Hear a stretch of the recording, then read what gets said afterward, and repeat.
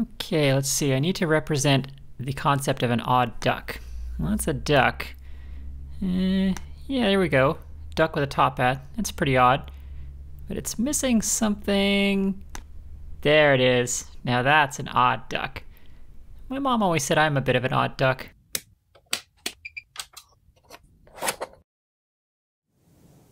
Hello, Internet. My name is Quinn, and this is Blondihacks. So you've built things and you want them to fit together, right? Do you know what a clearance fit is? You know what a press fit is? What about a locational transition fit? What does all this mean? Let's talk about it right now.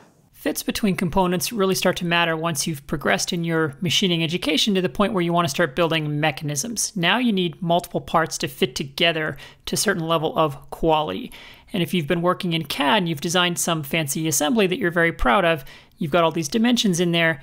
These numbers are what we call the nominal dimensions, and in machining, nominal is a synonym for fictional, because you're never going to hit any of them. So the question is, how close can we get, and in what direction, and how much does it matter? I guess that was three questions. Look, I'm not a mathologist, okay?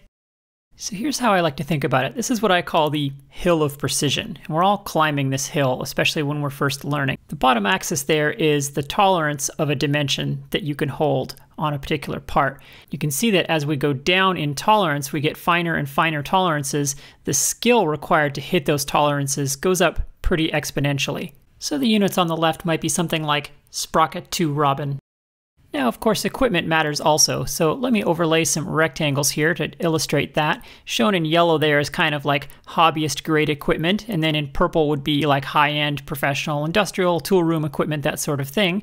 And then the overlap area, that gray-green area, is kind of where if you have enough skill, you can make low budget equipment do those things, but if you have high end equipment, you don't need as much skill to get the equipment to hit those tolerances. So the point of that is, to some degree, you can buy your way out of having skill. This is true in many things in life. By way of example, if you've ever gone to a track day with the desire to drive your car fast in a safe and controlled environment, then you're probably familiar with the tech bro who shows up in his purple Gallardo expecting to dominate the field of amateurs, and then one of the instructors happens to be Craig Stanton who dusts the floor with him in his rented Kia. So the point is that while the money you spend on your equipment does matter, it matters a lot less than people like to think it does, and skill is in fact a much more dominant variable. So here in the machine shop, you can get budget equipment to do a lot if you have skill. And there's an argument to be made that it's better to get good on worse equipment so that when you do get good equipment, you will be much more successful with it right out of the box because you've seen all of the weaknesses of rigidity and, you know, bearing quality and so on that you get with lower end equipment. The higher end equipment isn't covering up your mistakes, as it were.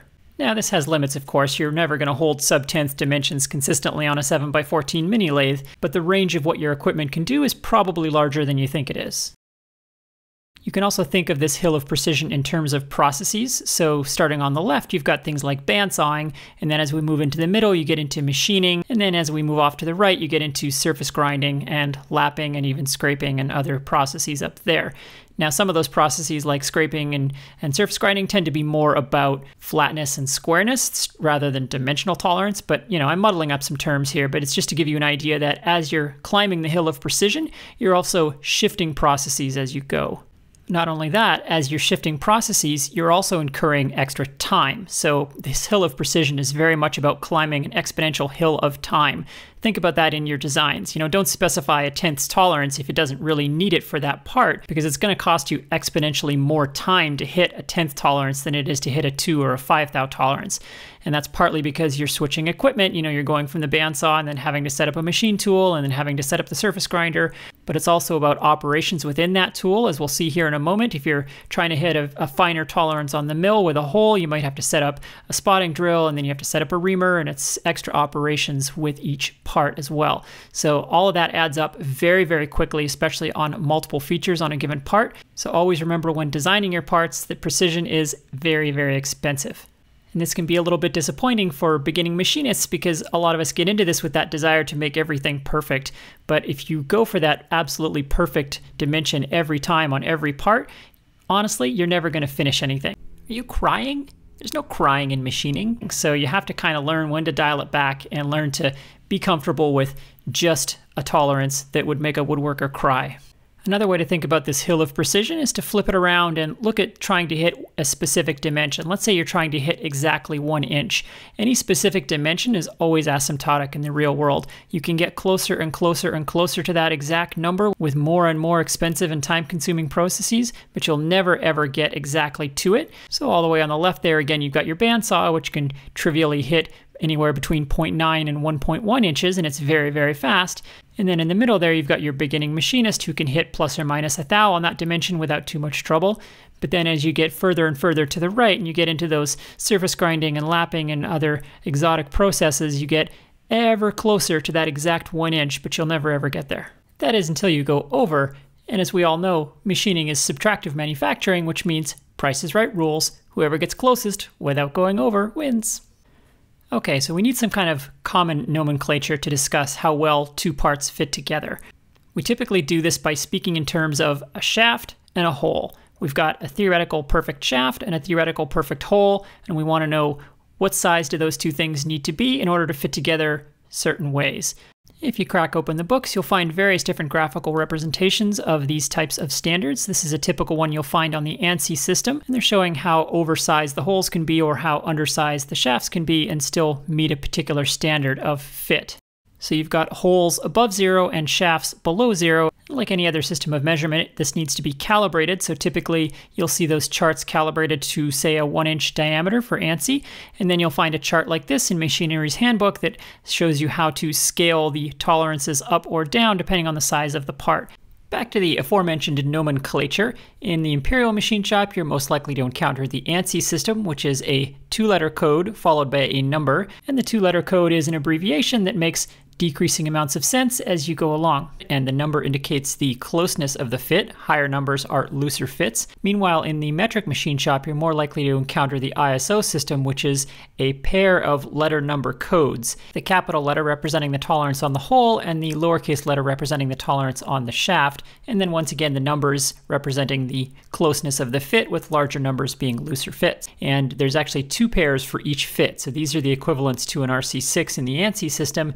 And and these are dependent on whether you're using a hole basis or a shaft basis. Basically, which of the two features are you holding constant and which one are you varying? The basis is the one that's remaining constant. Now, there is a whole elaborate system underpinning these numbers and codes, but there's really only a small set of them that you're likely to encounter in standards, the so called preferred values for these. And I'll do my best to explain the equivalence as we go along, but I will be describing the ANSI system in more detail. First is LC or locational clearance. That's very generally, hey, I want a hole to kind of land here because I got something that's going to go through there. Next is RC or running clearance, and this is, hey, I've got these two pieces of a mechanism, they need to slide together precisely and not bind up. And then we have the force fits or interference fits, also known as press fits, and this is, hey, I've got these two pieces of a mechanism, I want to put them together and have them never come apart again, and I don't like glue or welding. There's one other odd duck here that I'll include here, and we'll talk about it later, and that's the LT, or Locational Transition Fit.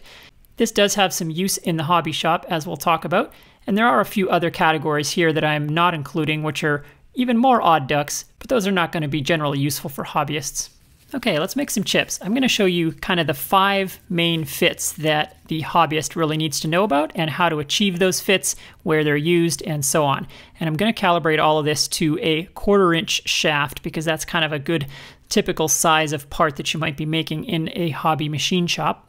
Now we have two variables here, right? The hole and the shaft. And it's easier if we hold one of those variables constant and modify the other. So I made this measuring shaft, if you will, for this purpose. I don't have a gauge pin, which would be the proper way to do this, but uh, I turned this guy on my lathe with emery paper of varying grits to as close as I could get to perfectly on 250 thou all the way down. You can see that I've got uh, maybe 30 millionths of taper there, but we're very, very close to being dead nuts on 250. Metric sidebar.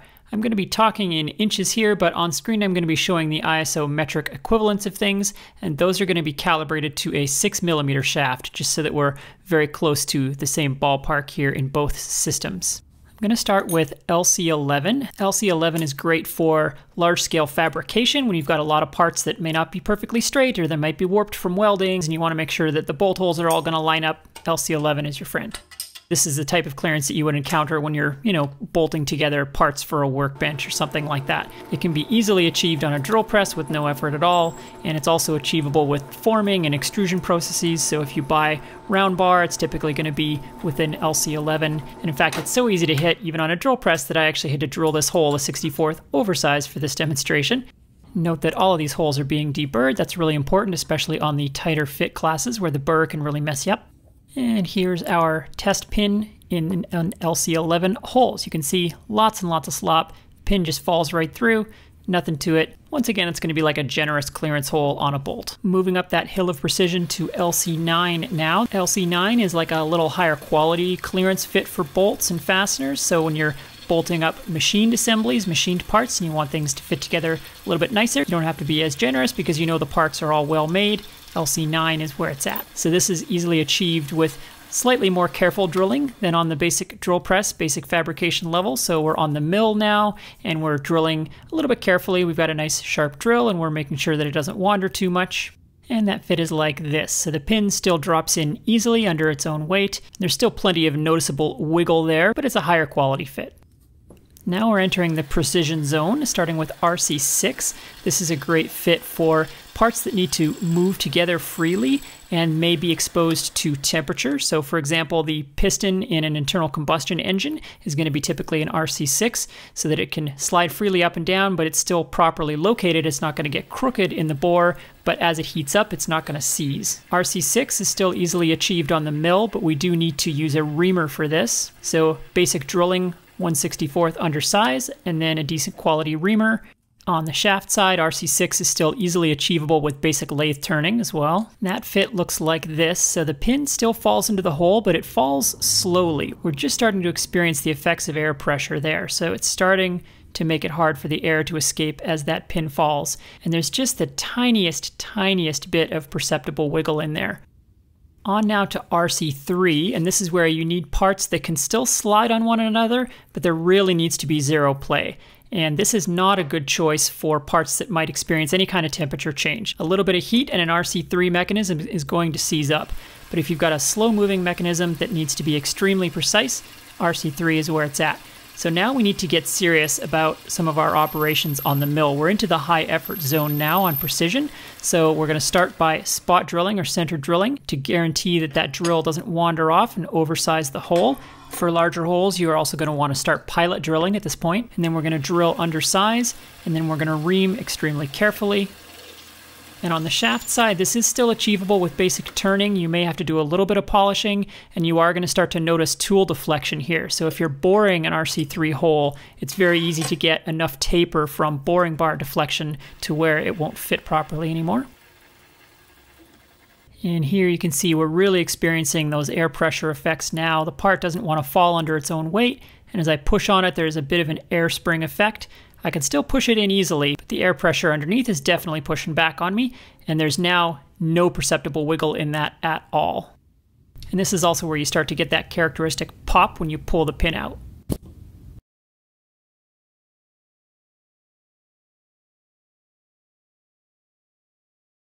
Now that's as low as we're going to go on the running fits. It is possible to achieve RC2 in the hobby shop, but it's not easy and it's very difficult to do it consistently. I have occasionally gotten lucky doing it, but if you need that fit, you're better off at that point making the hole first and then turning the part to fit, probably using emery paper for the finishing, because the level of precision that you need for an RC2 or better is much easier to achieve on the lathe than it is with any kind of hole making tool. Now, if you have a floating reamer holder combined with high quality reamers, those will pretty consistently hit RC2, but they can be a little spendy for the hobbyist. If you'd like to try your hand at making a floating reamer holder, I'm going to link to Nigel down below at the Go Create a Hobby shop. He's got a great video series on making one for Emma Ritzen's Spare Room Machine Shop tool making competition. It's a beautiful piece of work. Sidebar on piston fits, because I think this is of interest to a lot of hobbyists. I mentioned internal combustion engines typically being an RC6, and that's for the piston on the bore. That is not for the rings on the bore. The rings are much closer than that because, of course, they have to be a gas tight seal. So typically for ringed piston setups, you're going to have a little looser fit like an RC6 because that gives them the temperature range that they need to operate in, and then the rings can compress in the grooves as they expand and contract. Now, if you're making a ringless piston fit, you're going to want to be somewhere in the RC3, 4, or 5 range. And so a good thing to do typically is to aim for RC2, and then you're likely to miss it a little bit, and you'll end up somewhere in the RC3, 4, 5 range. And that's going to be a pretty good compromise between room for thermal expansion and sealing against gases. It's not going to be perfect, but for, for example, steam engines where you don't need a perfect gas seal, then uh, that works out pretty good. Moving on to the interference fits now, the most basic of these that are going to be useful to the hobbyist is FN2, and this is just a basic press fit for when you want two things assembled permanently. This is very easy to achieve in the hobby shop, and the secret sauce for this is over under reamers. So I've got a 1 thou undersize reamer here, and I'm also exercising the same level of precision that you would with an RC3 fit. So I spot drilled and drilled undersize, being careful to do those operations well. Metric sidebar. One of the cool things about the ISO system is that those hole and shaft ratings are also grades of tooling. So if you know that you need a 6mm H7 class hole, you can buy a 6mm H7 class reamer and know that it will cut within the tolerance range that you have, as opposed to the Imperial system where you kind of have to figure out the clearance or the interference that you want and then futz with half thou and one thou oversized, undersized reamers to get the effect that you want. And of course my 250 test pin doesn't fit in there as we would expect. Now I don't want to mess up my nice test pin here, so I'm going to make another one for this press fit. So I found a piece of scrap that's exactly 2 tenths over 250. And then with that undersized reamer cutting 249, and realistically it's going to cut a couple of tenths over, so that should put us on right about a 1 thou interference fit, which is an FN2 at quarter inch. So if we did our job right, we can go over to the arbor press, get that guy nice and straight and that should press right in there. This is about the strongest interference fit that you're probably going to want to do in the hobby shop. Any tighter than this and you start to need a pretty serious press. So this is where you want to look at a shrink fit instead, where if you want to do, let's say, a 2 thou interference, you can get away with that in the hobby shop by putting the torch onto the piece with the hole in it, heating it up good and hot, and then inserting the pin and letting it cool off. One exception to this is with certain plastics. For example, if you're doing a press fit on Delrin, such as I did here on this roller. If you're interested in this project, check out my blog. I'll link to this below. I made replacement rollers for this exercise machine out of Delrin, and those bearings are pressed in there on a 5 thou interference, and that's a very aggressive interference, but the reason is that Delrin stretches a lot, and if you don't use a very aggressive interference, then it will loosen up over time and the bearings will spin. So 5 thou interference is recommended on Delrin. Speaking of over-under reamers, they're also the secret to hitting that odd duck fit, the transition fit that I talked about earlier. These are basically a very light press fit, like a half thou interference, and these are actually really useful in the hobby shop, but they can be a little tricky to hit because of the narrow tolerance. So what you can do is buy the medium precision drill rod, and you'll find that it has a variance of plus or minus half a thou along its length, and you can find a section of it that has the exact dimension that you want. That's going to be, say, a few tenths over what you can do with your undersized reamer, and that'll get you on that half thou interference for a transition fit. And that's a good interference fit if, for example, you don't have a press, because that light press you can achieve with your bench vise.